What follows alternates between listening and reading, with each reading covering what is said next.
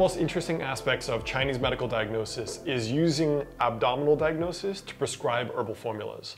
So in this video, I'm gonna demonstrate really what is a several thousand year old abdominal map for prescribing herbal formulas based on Chinese medicine and a branch of Chinese medicine that actually went to Japan called Kampo.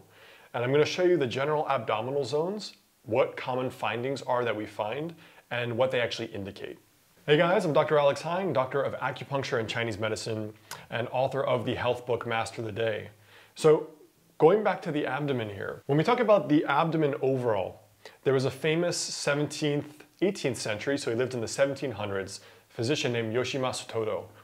And he said that the myriad diseases all originate in the abdomen, and that's why we examine it without fail to determine the basically the cause of disease. Now, this is one of those lost arts in Chinese medicine that is not commonly practiced and is very commonly practiced in Japan, one of the branches of Chinese medicine that went to Japan and is heavily used in actually some of the classical forms of Japanese acupuncture. So most acupuncturists do not actually palpate the abdomen in a diagnostic way, besides, you know, poking here and does it hurt and putting a needle there.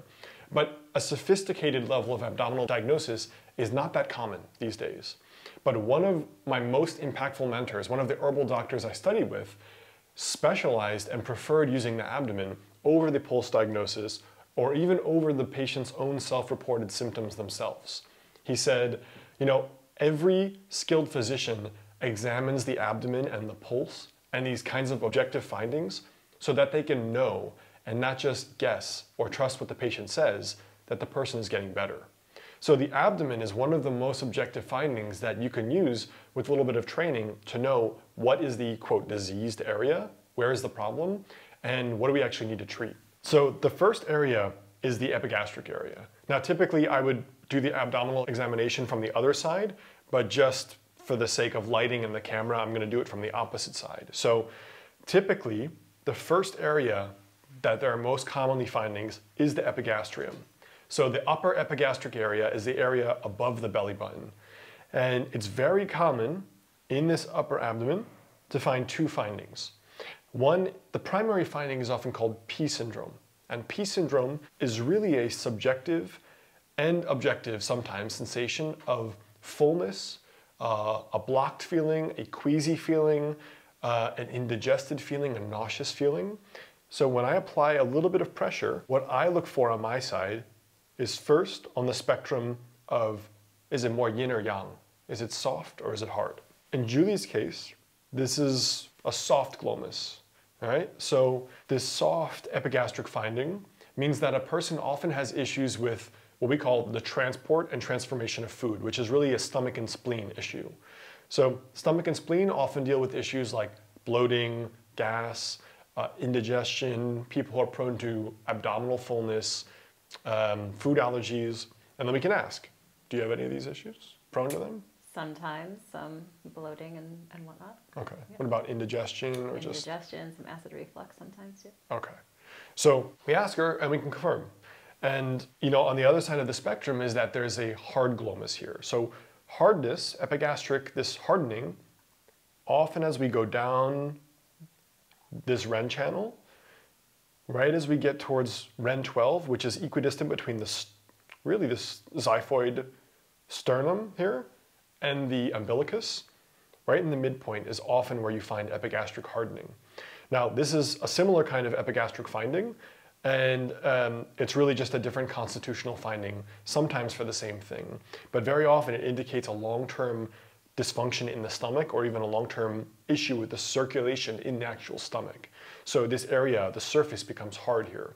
So very common to see with people with food allergies and bloating and things like that. So we begin with the epigastric area. Most common area that I find there's issues. The second finding we look for is pulsation. I'm just applying very gentle pressure and I'm looking for the pulsation of the abdominal aorta. For Julie, very, very minor. There's not a significant pulsation here.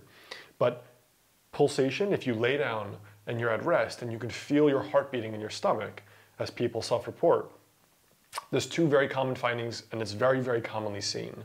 So obviously, you know, you have the abdominal, the aorta comes down and it splits. And very commonly, this is indicative of two things that are pathological. One is just general nervous system activity. So a person who's basically has a high level of stress and there's a level of uh, sympathetic dominance, you'll notice an elevated strength to the heartbeat and you'll notice it in the abdomen. And that just is because the heart is beating harder. Second scenario is the person is very, very thin. Now, Julie's thin, but she's a healthy level of thin. And the third scenario is often when there's a lot of bloating. So it's very indicative of people who have bloating and issues with digestion and food allergies, food sensitivities.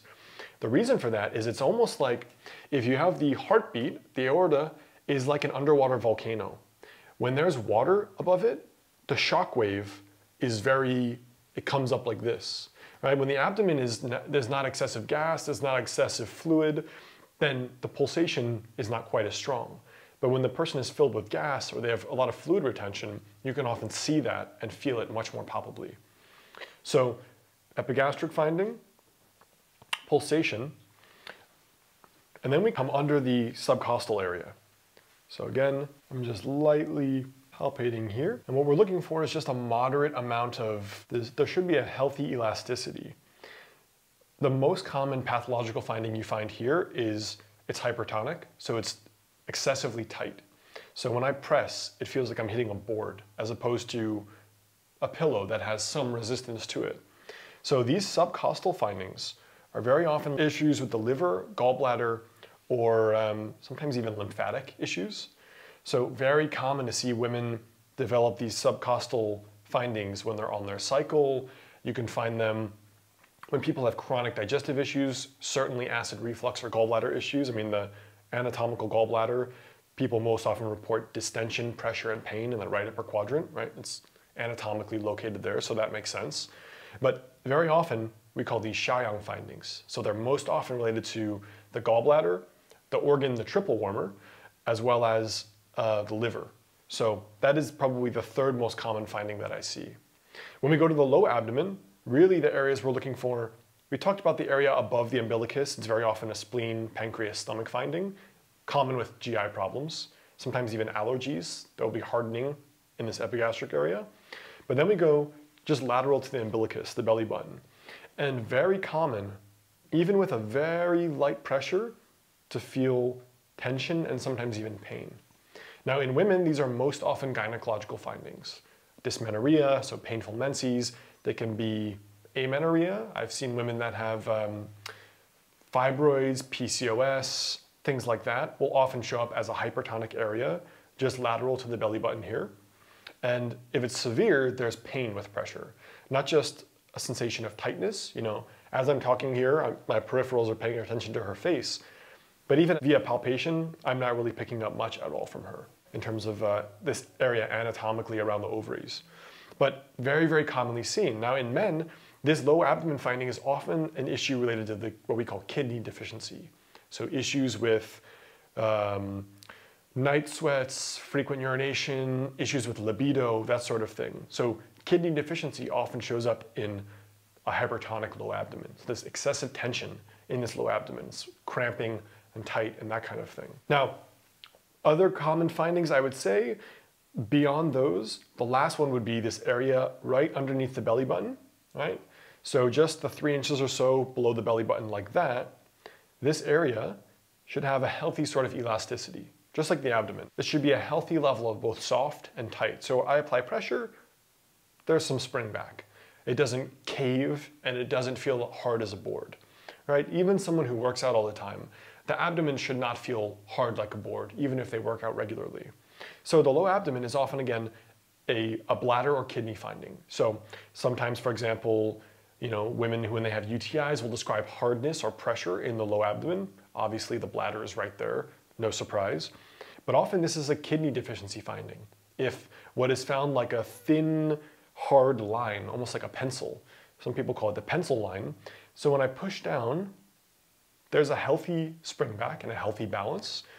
And when it's pathological, either there's mush, it's just a, you just sink into a cave, or you, you push and you can feel the separation of the rectus muscles and you can feel at the bottom of it what feels like a little, a little band of tension. and we consider that a pathological finding. So just to recap, the abdomen, very, very commonly used to prescribe herbal formulas in my practice. Most often, we see upper epigastric areas, Pi syndrome, so glomus, which is usually digestive in nature, or reflux. Rib side findings, pulsation of the abdominal aorta, findings lateral to the belly button, and then inferior to the belly button. And these are really the most common abdominal findings that I tend to see day to day. Now, a lot of people, you can even put your hands on your own abdomen and see what comes up, see what you find. All right, guys, so that's what I have for today on the abdomen and abdominal diagnosis. Again, if you want to be a patient of mine or learn about telemedicine with me throughout California or in Los Angeles, check out the link right below the video. And I've also put together a free guide for daily rituals that can potentially help you add years to your life with Chinese medicine. So those are all right below, and I'll catch you soon.